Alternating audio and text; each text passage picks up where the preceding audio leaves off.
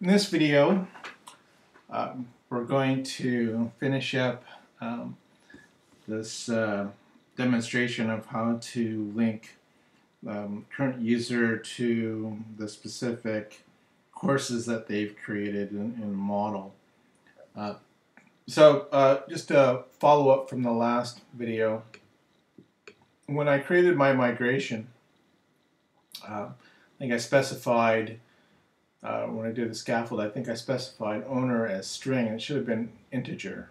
Uh, and that's going to have a, an impact on um, this next part when we do the queries. Um, so you'll want to make sure that uh, you do modify that, um, or if you, you're following along, um, what I had to do is go into Postgres and, and make a modification to the table directly rather than um, um, doing it through the migration. So anyway, um, want to make note of that. Uh, and it should be in the note for the um, in the description for um, the previous video. So uh, so the next piece that we need to do is when we get to um, displaying page two, we want to display the courses, not just um, uh, not just the person's name. Uh, and they're going to be the courses related to what they created. So a, a couple of things that we need to do. First of all, um, I want to make the list of courses available to the user or to that page. I'm going to create a variable called courses. I'm going to run a query. Um, and so this is an active record query, uh, and it should uh, seem to be something like doing a select all um, in SQL, but we're using active records. Of course, is the, the model type. And I'm going to say where, um, uh, where owner equals question mark, and then the question mark is going to fill, be filled in with current user.id. So this is going to ensure that the courses that we, we pull from the database, from the model, are those that match up with whoever the current user is. So we'll put that there. Now, how I want to use this in the um, in the page is I want to use essentially the same thing that was that's automatically generated for the view for displaying all of the courses. So if we look at index.html, I want to use this table uh, or something like it uh, for the time being. So it's going to do this thing here where it takes whatever the courses are and takes each one, displays each of those items. So I'm just going to grab this table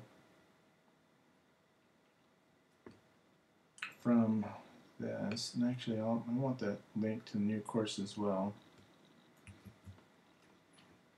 And I'm going to drop that right into page 2. Okay. So we've done this all correctly. I'm just going to restart the data, uh, restart the system.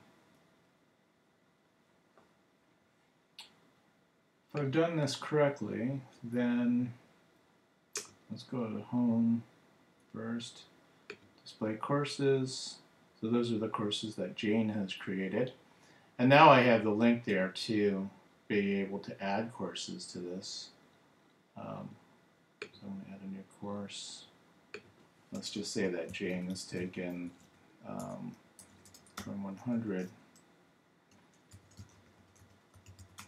Introduction to Programming. Create the course. If we go to page two, there it shows the courses that Jane has created. If I log out and have John Doe log in,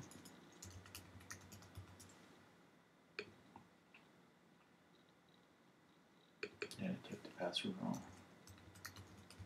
Oh, dot com.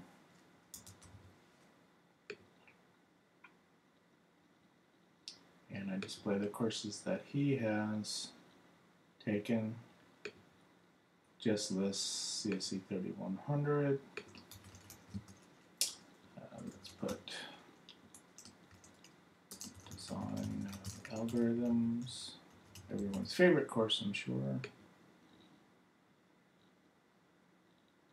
And then display the courses.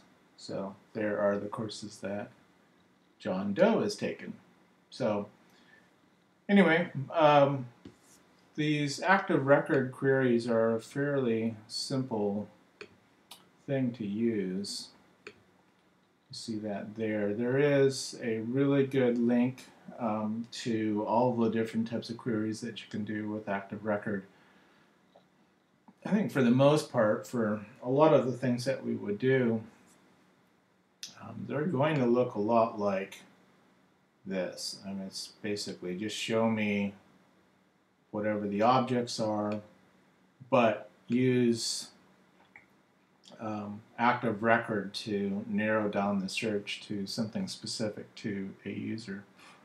Um, anyway, so there's a number of other ways to, to do um, the different types of queries.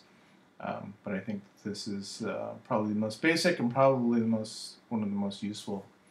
So anyway, that concludes this video.